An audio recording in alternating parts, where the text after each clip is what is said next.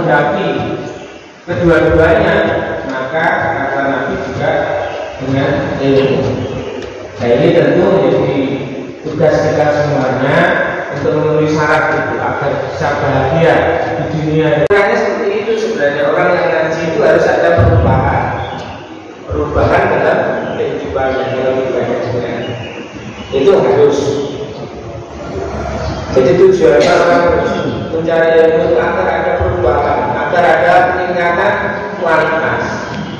Kualitas apa? Kualitas amal ibadahnya kepada Allah Subhanahu Wa Taala.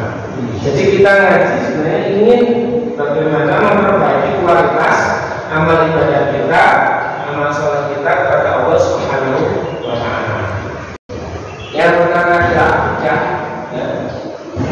jangan sampai geser akidah kita ini. Yang kedua adalah apa perilaku ya.